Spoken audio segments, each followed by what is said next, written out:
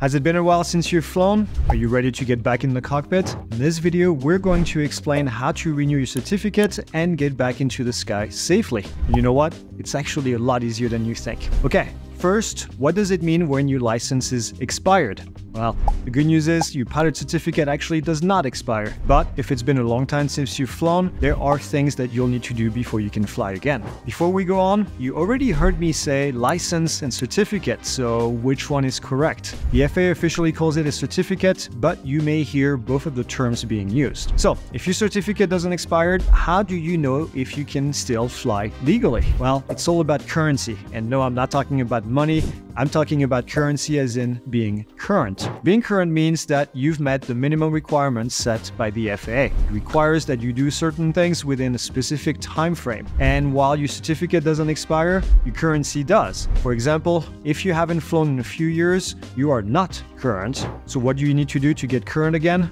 Well, first thing, satisfy the medical requirements, which means that if you haven't flown in a while, it's probably best to check if you're still fit to fly. Now, you're lucky because there are two ways to do this. The first one is to get the traditional normal FAA certificate. You'll need at least a third class medical certificate for a private pilot license. This involves a medical checkup with a doctor who specializes in aviation medicine. They're known as AME, Aviation Medical Examiner. The second way that you can satisfy the medical requirements is through a program that's called Basic Med. This is fairly new and allows you to avoid the hassle of getting a third class medical by meeting other requirements. To classify for Basic Med, your last FAA medical certificate must have expired no later than July 14, 2006. There are several more rules surrounding Basic Med that I'm not going to cover in this video, so we're going to put a link in the description for you to learn more. Okay, so now that you've satisfied the medical requirements, what's next? Well, you need to do a flight review. And the flight review consists of one hour of ground and one hour of flight training at the minimum, okay? Luckily, any CFI can perform the flight reviews. You actually don't have to go to a DPE, designated pilot examiner, like you did when you did your license initially. Before you do the flight review, you probably should get your skills back up to standard by flying with an instructor. Now, you might find that your flying skills will come back quickly, but other skills like radio communication might take a lot more work. Also, depending on how long it's been since you flew, you might have missed some substantial changes in the aviation industry. From rule changes to improvements in avionics, your instructor will bring you up to date with anything that you need to know. Okay, so you meet the medical requirements and you've passed the flight review. Congratulations. Time to take grandma for a flight, right? Well, not yet. There's one more thing that you need to do.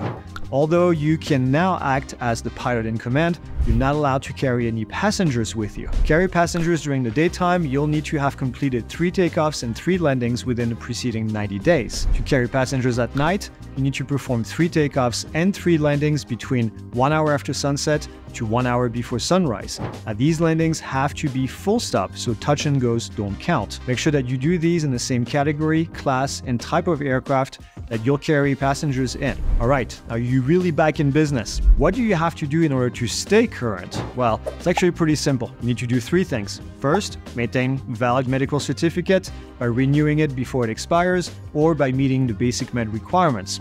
Second, you need to complete a flight review every 24 calendar month. And third, to carry passengers, you need to perform three takeoffs and landings within the preceding 90 days. But there is even more good news. Getting a flight review is then actually the only way to stay current. If you get an additional certification, like an instrument rating for example, this will count as a flight review. You can also avoid the flight review entirely by participating in the FAA's Wing Pilot Proficiency Program. Now the Wings is like a progressive flight review if you want. Instead of trying to cram everything into one flight, Wings allows you to train in smaller, more focused chunks. Now, instead of the flying portion of the flight review, you'll actually fly on a regular basis with your flight instructor throughout the year. And instead of the ground portion of the flight review, you can actually take online courses like ours and many courses that we offer from the comfort of your home. And as you get back into the pilot seat, you'll want to stay updated with any aviation news as it happens. It's exactly why we created the weekly General Aviation News Update. Check out the latest episode right here. Thanks for watching, and we'll see you in the next one.